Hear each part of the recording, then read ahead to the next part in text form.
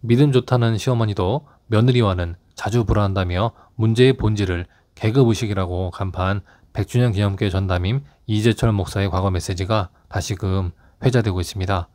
고부 갈등의 원인을 계급 문화가 자리 잡고 있는 유교식 잔재 때문이라고 분석한 이 목사는 모든 면에서 신앙의 모범이었지만 며느리와의 관계에서만큼은 정말 나빴던 한 권사의 사례를 들어서 눈길을 끌었는데요. 이 목사는 하나님의 아들이 이 땅에 오셔서 우리는 그분을 주님으로 모시는데 그분은 우리 앞에 서셔서 내가 너를 친구로 삼았다며 대등하게 대해주신다며 주님께서 하나님의 계급장을 스스로 떼셨기 때문에 우리가 그분과 사귈 수 있게 된 것이라고 강조했습니다. 어느 직분, 어느 위치, 어느 자리에 있든지 계급장을 떼고 스스로 내려와서 상대방을 사랑하되 종노릇하기까지 사랑하면 고부 갈등마저 극복할 수 있고 사람 간 진정한 사귐과 교제가 이루어질 수 있다는 메시지의 다름 아니었습니다. 다음과 같은 메시지였습니다. 믿음은 위치입니다. 아담과 하와가 하나님께서 명하시는 하나님께서 금하시는 열매를 먹고 범죄했습니다. 그들이 나무 숲, 나무 숲 속에 숨어 있지 않습니까? 그때 하나님께서 그들을 찾아오셔서 그들에게 물으시기를 아담아 네가 뭐 했느냐 이렇게 묻지 않으셨습니다. 아담아 네가 어디 있느냐 위치를 물으셨습니다. 왜? 믿음은 위치이기 때문입니다. 바른 위치를 지키는 것입니다. 하나님과의 관계에서 우리의 바른 위치는 하나님 아래쪽입니다. 사랑과의 관계에서 우리의 바른 위치는 대등한 관계입니다. 물질과의 관계에서 우리의 위치는 물질 위쪽이 되어야 합니다. 그래서 항상 물질은 우리 밑에, 사람은 우리 앞에, 하나님은 우리 위에 계셔야 합니다. 그런데 아담과 하와는 네가 이 열매를 먹으면 네가 하나님과 같이 되리라. 위에 계셔야 하실 그 하나님과 동등한 위치가 되기 위해서 범죄한 것입니다. 인간은 발 밑에 두어야 할 물질을 자기 머리 위에 둡니다. 물질을 섬깁니다. 하나님을 끌어내려서 자기와 대등한 자리에 둡니다. 그리고 사람을 자기 수하의 도구로 씁니다. 그래서 모든 관계가 다 뒤틀리고 맙니다. 사도행전의 사람들은 이 위치를 바르게 설정한 사람들입니다.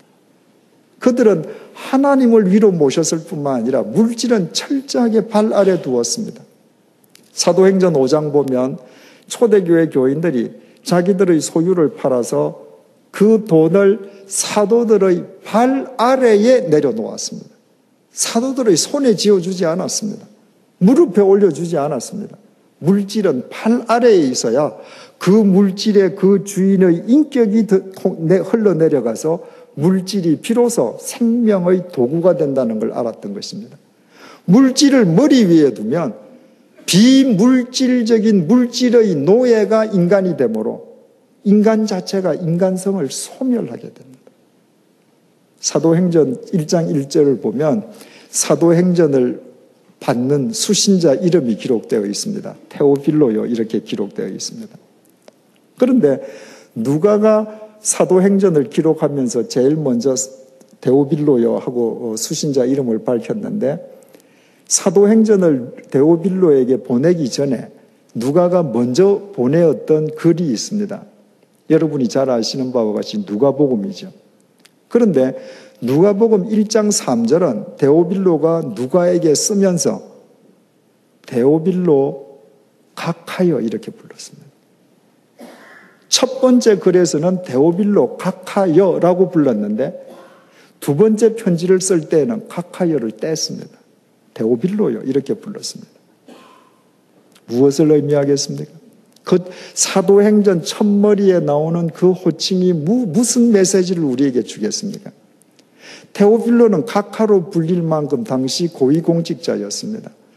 갈릴리 어부 출신, 아, 갈릴리, 갈릴리 출신 어부 출신들로부터 복음을 전해들은 누가는 누가 복음을 쓰면서 그 고위 공직자에게 각하라고 호칭을 깍듯하게 붙일 수밖에 없었습니다.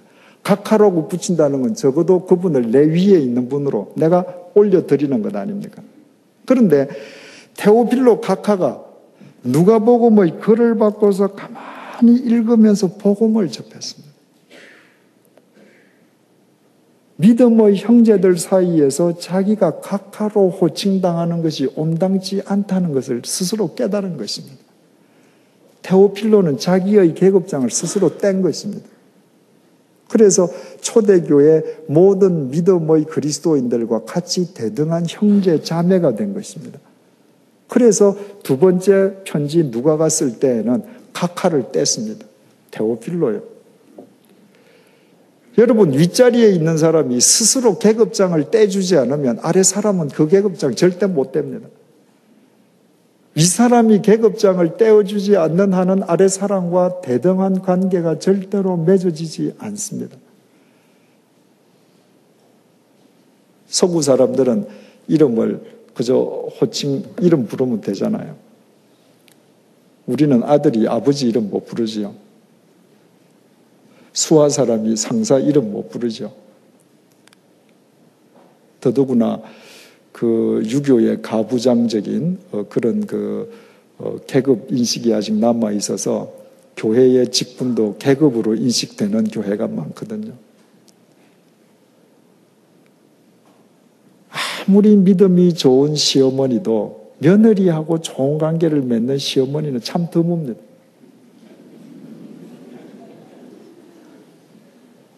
유교식 잔재가 남아있기 때문입니다. 어느 목사님이 쓰신 글을 읽었습니다. 정말 모든 면에서 모범이신 권사님이신데 며느리하고의 관계만은 정말 나쁜 겁니다. 목사님을 만나기만 하면 매일 며느리 험담을 하시는 거예요.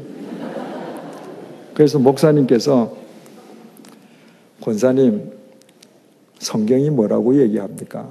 서로 사랑으로 종노릇하라고 하지 않습니까? 권사님이 며느님을 사랑하시되 종노릇하기까지 사랑해 보십시오. 그러면 됩니다.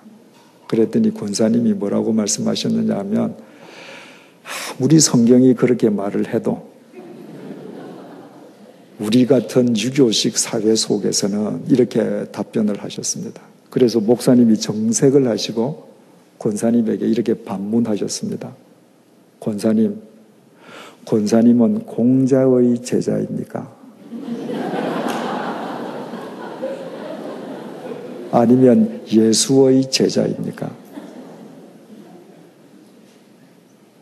여러분, 제가 여러분들에게 여쭙고 싶습니다. 여러분은 공자의 제자입니까? 예수의 제자입니까? 예수님은 우리에게 이렇게 말씀하십니다. 요한복음 15장 15절입니다. 이제부터는 너희를 종이라 하지 아니하리니 종은 주인이 하는 것을 알지 못함이니라 너희를 친구라 하였으니 내가 내 아버지께 들은 것을 다 너희에게 알게 하였음이니라.